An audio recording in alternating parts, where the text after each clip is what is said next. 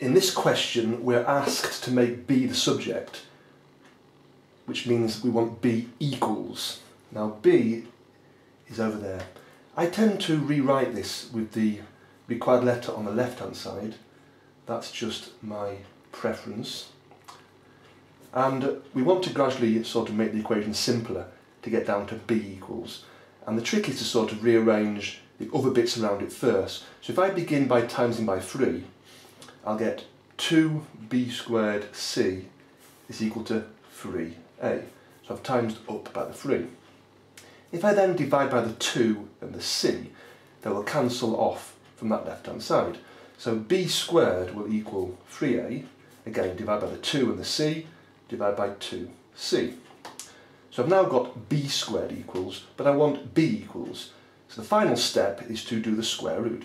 So b will equal the square root of that entire right hand side. So 3a over 2c, but don't forget, when we work out the square root, we must include the plus or minus. b could have been either positive or negative.